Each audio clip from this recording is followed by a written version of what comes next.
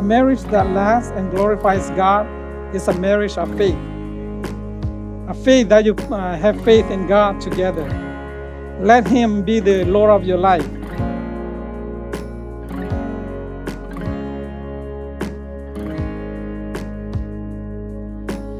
Dear Meejpem, first off, I want to let you know that I love you so much.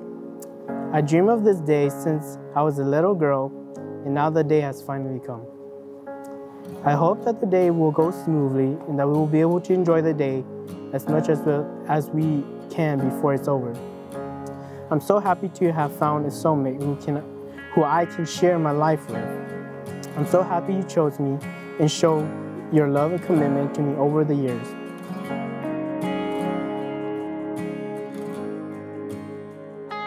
Marriage is a holy union between a man and a woman.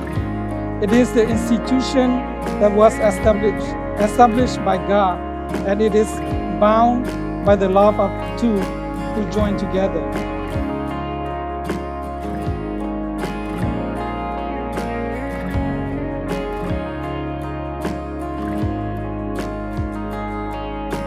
I remember there were a few times where I would really think about how it'd be like when Alicia got married and moved out. And after thinking about it a few times, it really brought back memories.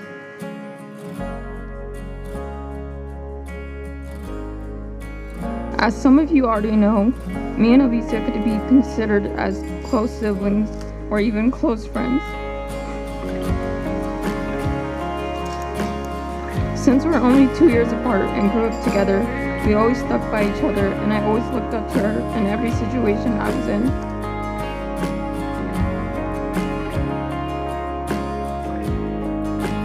Alicia has been my role model, my teacher, sometimes my rival, and also a close friend.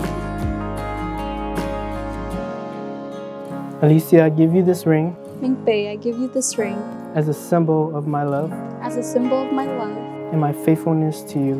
and my faithfulness to you.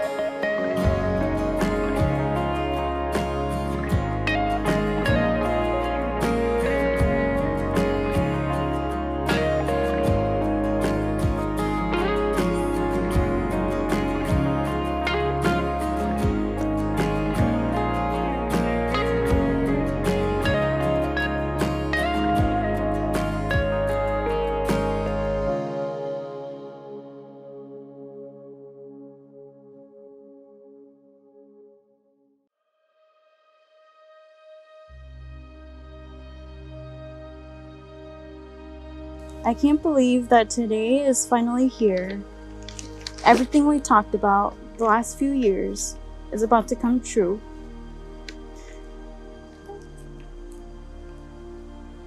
I can't wait to see you on our first look. I can only imagine how beautiful you look. Ever since the day I met you, you changed how I look and see things in life differently. You showed me that love is real and it takes up it takes up to two people to make marriage happen.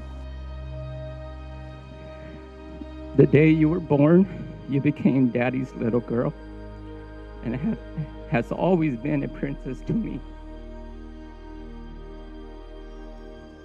You were a gift from God, and I will always be grateful to have been given the honor of being a father. We've watched you grow from being a baby to becoming a beautiful young woman. And now you're getting married, beginning a new chapter in your life. As a dad, we all know that this time will come when our children are all grown up and ready to move on.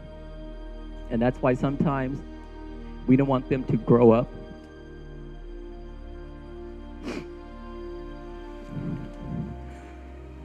we all are so happy for you, knowing that you have found that special person to spend the rest of your life with.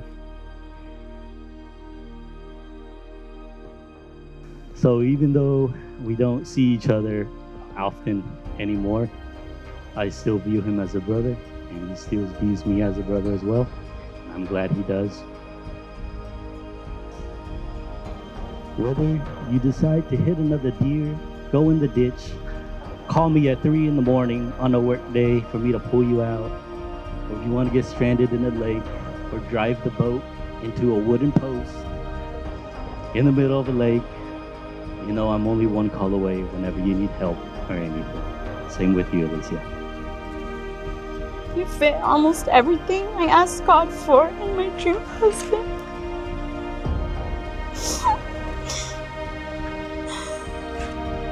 Someone who's good with kids, someone who's funny, someone who's handy and can fix things, and someone who's compa- compatible with me and shares the same life goals as me.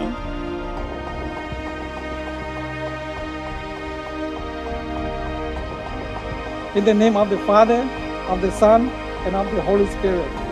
Therefore, what God has joined together, let no one separate.